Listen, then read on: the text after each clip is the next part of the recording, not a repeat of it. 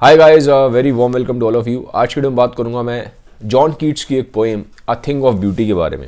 Poem को start करने से पहले थोड़ा सा पोएट जॉन कीट्स के बारे में जान लेते हैं कि ये कौन थे। जॉन कीट्स इंग्लैंड में पैदा हुए थे और एक रोमांटिक पोइट थे।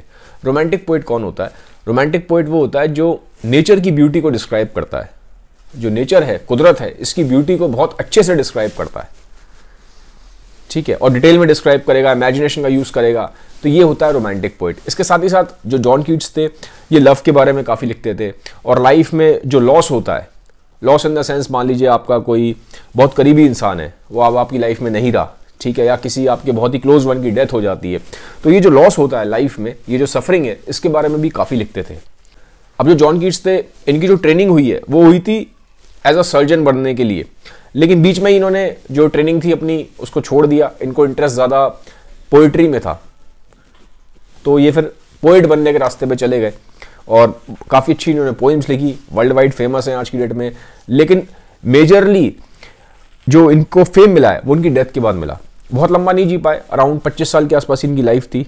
शॉर्ट लाइफ थी, लेकिन बहुत ही इम्पैक्टफुल लाइफ थी। क्योंकि लिटरेचर की दुनिया में इनका बहुत बड़ा नाम है। तो ये तो मैंने हल्का सा आपको एक ब्रीफ ओवरव्यू दिया जॉन कीट्स के बारे में। अब थोड़ा सा इनकी जो पोएम है, इसको हम पढ़ लेते हैं। अब ये जो पोएम है अ थिंग ऑफ़ ब्यूटी ये एक बहुत बड़ी पोएम एंडीमियन उसका छोटा सा पार्ट है, उसमें से ली गई है। ठीक है? ये उस बड़ी पोएम का एक एक्सर्प्ट है। एक्सर्प्ट मतलब होता है, एक बड़ी जिसका छोटा सा पार्ट निकाल लेना। जैसे मान लीजिए बुक है बुक में से आपने दो पेज निकाल लिए। इस तरह समझ लो। तो ये एक बड़ी पोएम थी एंडी उसमें से एक छोटा सा पार्ट निकाल लिया है। तो ये वाला जो पार्ट है इसी से पोइम है, जो आपके कोर्स में है अ थिंग ऑफ़ ब्यूटी अब मैं इस पोइम को लाइन बाय लाइन आपको बताऊँगा। ध्यान सुनिएगा, अच्छी पोइम है बहुत। पहली line a thing of beauty is a joy forever जो चीज़ ब्यूटीफुल होती है, ठीक है, उससे हमको हमेशा खुशी मिलती रहती है। जैसे कि मान लीजिए आपने देखा होगा, कभी आप पहाड़ों पर जाते हैं, छुट्टियाँ वगैरह होती है तो हम पहाड़ों पर जाते हैं। या फिर आपने देखा, हम सी साइड पर जाते हैं, हम समुंदर को देखते हैं, ठीक है, या आप देखिए रात को कभी आप ऊपर चाँद को देखते हैं। तो ये सब क्या है? क्योंकि जो पोएट है जॉन कीट्स मेनली यहाँ पे ब्यूटी ना नेचर से रेफर कर रहा है। नेचर के बारे में बात करेगा बार बार जब ये बात ब्यूटी की कर रहा है तो नेचर की चीज़ों के बारे में बात करेगा। तो ये बोल रहा है, इस तरह की जो चीज़ें होती हैं नेचर की जो ब्यूटीफुल चीज़ें हैं, ये हमेशा जब भी हम उनको याद करते हैं तो हमारे अंदर जॉय आता है, हम बहुत खुश हो जाते हैं। Its loveliness increases it will never pass into nothingness ताकि जैसे जैसे टाइम बीतता है, ठीक है, उस चीज़ की लवलीनेस बढ़ती जाती है। और वो चीज़ कभी भी खत्म नहीं हो सकती। वो चीज़ जो ब्यूटी की है, उसकी लवलीनेस बढ़ती जाती है और वो चीज़ कभी खत्म नहीं हो सकती। अब इसको आप ऐसे भी समझ सकते हो। मान लीजिए आप 10-12 साल की एज में कहीं पिकनिक बनाने गए थे, पहाड़ों पे, ठीक है? अब मान लीजिए आप 25 साल 30 साल के हुए 40 साल के हुए तो मेमोरीज तो आपके दिमाग में है। और जब भी आप उन मेमोरीज को याद करेंगे तो आप खुश हो जाएँगे। और वो मेमोरीज कभी कहीं जाएँगी नहीं, क्योंकि वो जो ब्यूटी होती है, बहुत इंपैक्टफुल होती है। आपके ब्रेन पे बहुत इंपैक्ट रखती है। ठीक है? आपको हमेशा वो मेमोरीज आपके अंदर रहेंगी और आपको हमेशा याद रहेंगी। इसलिए वो इस एक, एक तरह से कह रहा है कि ये जो चीज़ें हैं ब्यूटी वाली ये कभी भी नथिंगनेस में नहीं आती कभी खत्म नहीं होती क्योंकि आपकी मेमोरी में स्टोर्ड है। आप उन मेमोरी को रिवाइव कर सकते हो कभी भी। अब आगे पॉइंट कहता है but will keep a bower quiet for us bower का मतलब होता है एक पेड़ की छाया। तो कह रहा है ये जो ब्यूटी की चीज़ें हैं ये जो ब्यूटीफुल चीज़ें हैं ये हमारे लिए क्या बना देती हैं? एक पेड़ की छाया बना देती हैं। जैसे एक पेड़ छाया बनाता है, ऐसी हमारे लिए छाया बना देती है। और पेड़ की छाया के नीचे क्या करते हैं? ठीक है, हम रिलैक्स करते हैं। तो इसी तरह से वो कह रहा है रिलैक्स कैसे करेंगे? अब आगे बता रहा है। And a sleep full of sweet dreams and health and quiet breathing ये जो ब्यूटीफुल चीज़ें हैं, ये एक हमारे लिए पेड़ की छाया बना देंगी। ठीक है, और हम इसके नीचे बैठ के रिलैक्स करेंगे, अच्छी नींद लेंगे और हम बहुत अच्छे अच्छे स्वीट ड्रीम्स लेंगे। ठीक है, ये मतलब है। फिर वो आई कहता है therefore on every morrow are we wreathing a flowery band to bind us to the earth morrow का मतलब होता है मॉर्निंग और रेथिंग का मतलब होता है, जैसे आप फूलों की माला बनाते हो ना, ये जो आप माला बनाते हो, ठीक है, उसको ऐसे बुनते हो, फूलों की माला को, इसको रेथिंग बोलते हैं।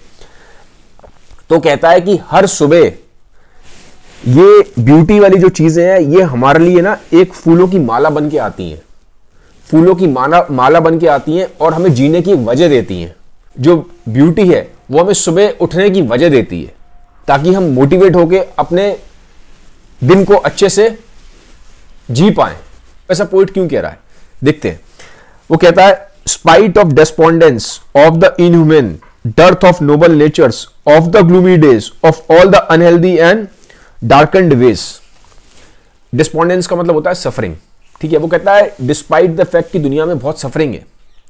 कहता है सफरिंग बहुत है प्रॉब्लम्स बहुत सारी हैं टेंशनें बहुत सारी हैं स्ट्रेसेस बहुत सारी हैं, बहुत सारी टेंशन है, बहुत सारी सफरिंग है। और साथ ही साथ वो ये भी बोलता है कि दुनिया में जो अच्छे लोग हैं, इनकी कमी है। अच्छे लोगों की कमी है, क्योंकि जब इसने ये वर्ड बोला है dearth of noble natures dearth मतलब होता है कमी। वो कहता है, जो अच्छे लोगों की दुनिया में कमी है और दुनिया में सफरिंग बहुत है पेन बहुत है बट उसके बावजूद भी ये हम लाइफ को कैसे फिर हम जीते हैं? मोटिवेट कैसे रहते हैं? ब्यूटी की वजह से। आप कनेक्ट कर पाओगे। वो क्यों बोल रहा था कि पिछले लाइंस में कि सुबह उठ के ये ब्यूटी हमारे लिए फूलों की माला बन के आती है। क्योंकि वो कह रहा है लाइफ में बहुत सारी पेन होने के बाद सफरिंग होने के बाद लाइफ में वो कहता है, अच्छे लोग कम हैं, ठीक है, और सफरिंग है पेन है, लेकिन उसके बावजूद भी हमें जो जीने का मोटिवेशन है, वो किससे मिलता है? वो ब्यूटी से मिलता है। क्योंकि हर सुबह ब्यूटी एक फूलों की माला की तरह बन के आती है, ताकि हम अपनी लाइफ को अच्छे से जी पाए despite all the pain and suffering despite all the gloomy days मतलब जो डार्क डेज़ आते हैं लाइफ दुनिया में डार्कनेस है, उसके बावजूद भी यही चीज़ हमें मोटिवेट करती है ब्यूटी ही हमें मोटिवेट करती है कि जो हमारा जो डार्क टाइम है, हम इस टाइम को बियर कर पाए। उस डार्क वाले टाइम में मतलब उस खराब टाइम में हमारे पास स्ट्रेंथ कहाँ से आएगी वो ब्यूटी से आती है। फिर वो बोलता है yes in spite of all some shape of beauty moves away the pall from our dark spirit pall मतलब होता है वही खराब टाइम तो वो फिर बात वही रिपीट कर रहा है कि कितनी भी सफरिंग हो, कितना भी पेन हो लाइफ में कितनी भी डार्कनेस हो डिस्पाइट ऑल दिस ये होने के बावजूद भी सफरिंग होने के बावजूद भी पेन होने के बावजूद भी ब्यूटी हमें आगे लाइफ में पुश करती है, आगे बढ़ने के लिए। हमें मोटिवेशन चाहिए होगा, कैसे बढ़ेंगे हम आगे? वो हमें ब्यूटी से मिलता है। ठीक है तो ब्यूटी को लेकर आप देखेंगे, एक तरह से आपको ऐसा लगेगा जो पोइट ब्यूटी को बहुत ज़्यादा ग्लोरीफाई कर रहा है। पर ये ध्यान रखिएगा, यहाँ पे मतलब ब्यूटी का किससे है? नेचर की ब्यूटी से। ठीक है? और बताएगा, आगे बताता है कि ब्यूटी से मतलब क्या अब यहाँ क्लियर करता है उस लाइन में। Such as sun the moon trees old and young sprouting a shady boon अब किसकी ब्यूटी बताता है? वो कहता है सन की सन की ब्यूटी मून की ब्यूटी जो पेड़ हैं, पुराने, नए, उनकी ब्यूटी स्प्राउटिंग का मतलब क्या है? जैसे आपने देखा होगा, चने होते हैं। चने को अगर रात को भिगो दो तो अगले दिन सुबह स्प्राउट करते हैं, ठीक है, ऐसे अंकुरित हो जाते हैं, फूट जाते हैं। तो वो कह रहा है कि ये जो चीज़ें हैं सन मून ट्रीज इनकी ब्यूटी एक तरीके से हमारे लिए एक वरदान बन के आई है। ठीक है, ये लिखा है ना शेडी बून एक तरीके से हमारे लिए वरदान बून मतलब वरदान वरदान बन के निकल के आती है। तो यहाँ पे हमें साफ़ साफ़ दिखाई दे रहा है, उसका मतलब ब्यूटी का नेचर की ब्यूटी से। फिर आगे कहता है for simple sheep and such are daffodils with the green world they live in अब फिर और बताता है, और कौन कौन सी चीज़ें ब्यूटीफुल है? वो कहता है एक शीप जो एक शीप है शीप डेफोडिल्स ठीक है? तो इन, जो डेफोडिल्स फ्लावर्स होते हैं तो इनको भी बता रहा है कि ये चीज़ें ब्यूटीफुल है। और बोलता है एंड क्लियर रिल्स रिल्स मतलब होता है छोटी छोटी नदियाँ, ठीक है? Small rivers and clear rills that for themselves a cooling covert ठीक है? Make against the hot season वो कहता है, नदियाँ होती है ना छोटी छोटी नदियाँ, ठीक है? उनमें भी ब्यूटी है। जब वो नदियाँ निकलती हैं छोटी छोटी कब? गर्मी के टाइम पे, गर्मी के टाइम पे, ठीक है हॉट सीज़न तो उसके साइड में ना, यहाँ पे जो वर्ड यूज़ किया कॉवर्ट कॉवर्ट का मतलब होता है नदी के साइड में छोटे छोटे आपने देखा होगा पेड़ होते हैं, ठीक है? और साथ ही साथ ये भी बोलता है, जब रिवर जब जाती है वो छोटी रिवर तो वो एक कूलिंग इफ़ेक्ट क्रिएट करती है। गर्मी में एक कूलिंग इफ़ेक्ट क्रिएट करती है, ठीक है? साइड के जो पेड़ होते हैं, वो शेड्स देते हैं तो उससे कूलिंग इफ़ेक्ट आता है। तो वो वो चीज़ बहुत उसको ब्यूटीफुल लगती है, उसको बहुत फैसिनेट करती है तो उसको डिस्क्राइब कर रहा है। ये बोलता है the mid forest brake rich with a sprinkling of fair musk rose blooms. वो कहता है, अगर आप फॉरेस्ट में जाएँगे, आप जंगल में जाएँगे तो वहाँ पे वो बता रहा है जिस एरिया में वो रहता होगा, इंग्लैंड का मैं पैदा हुआ था तो हो सकता है उसके घर के आसपास ऐसे फॉरेस्ट हो। तो कहता है, वहाँ फॉरेस्ट में उसको मस्क के रोज, ठीक है, एक रोज होता है मस्क का, ठीक है तो उसके परफ्यूम्स भी आते हैं। तो कहता है कि जब फॉरेस्ट में मैं जाता हूँ, ठीक है, एक तरीके से तो वहाँ पे उस फॉरेस्ट में उसको मस्क के रोज मिलते हैं, और उसकी जो खुशबू होती है स्प्रिंकलिंग मतलब होता है जैसे छिड़क दिया हो, जैसे आप छिड़क देते ना जब परफ्यूम छिड़क लेते हैं ना अपने ऊपर, ऐसी वो कहता है कि वो जो जंगल में जो मस्क का रोज का फ्लावर है, उसकी जो खुशबू है, वो पूरे जंगल में छिड़क गई हो। ऐसा उसको फील होता है। अब आगे बोलता है वो and such too is the grandeur of the dooms we have imagined for the mighty dead grandeur मतलब होता है ग्रेटनेस डूम मतलब एक तरीके से डेथ है, ठीक है? डिस्ट्रक्शन को बोलते हैं डूम अब यहाँ पे वो किसकी बात कर रहा है? जब यहाँ पे वो बात कर रहा है, जब ये लाइन बोल रहा है, द माइटी डेड तो माइटी डेड कौन है? किसके लिए यूज़ किया गया? है यहाँ पे वो बात कर रहा है उन लोगों की, उन सोल्जर्स की, जिन्होंने अपनी कंट्री को बचाते हुए अपनी लाइफ को सेक्रीफाइस किया है। ठीक है?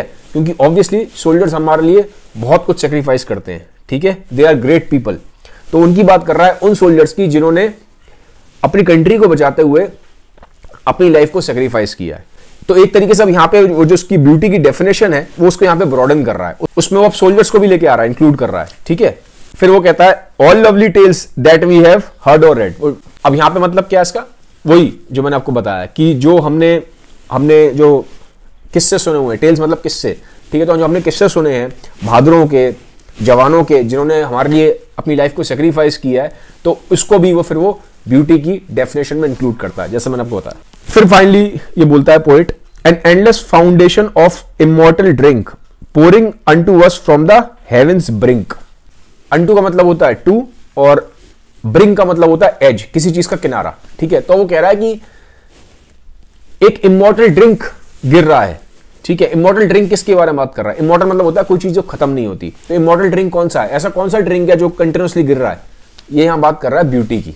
ये जो जिन भी चीज़ों के बारे में इसने पोइट ने बात करी है ना ब्यूटी को रेफर किया है पूरी पोइम में, वो कह रहा है, ये जो ब्यूटी है दुनिया में हमेशा रहेगी हमेशा रहेगी, एक तरीके से गिफ्ट है ये, ठीक है? हमें जो मिला हुआ है और ये हमेशा आता रहेगा, एक ड्रिंक के इमोर्टल ड्रिंक के फॉर्म में, ठीक है? कभी ना खत्म होने वाला ये ड्रिंक है ब्यूटी का जो हमेशा इस दुनिया में रहेगा pouring unto us from the heavens brink मतलब जो हेवन है हेवन से ये जो ड्रिंक है ब्यूटी का ड्रिंक ये गिरता हुआ हम तक आ रहा है और ये हमेशा आता रहेगा क्योंकि ये इमोटल है, कभी खत्म नहीं हो सकता। यहाँ पे ये पोएम खत्म होती है। आई होप ये पोएम आपको अच्छी लगी होगी। अगर ये पोएम आपको अच्छी लगी है तो काइंडली इस वीडियो को लाइक करें और सबके साथ शेयर ज़रूर कर दीजिएगा।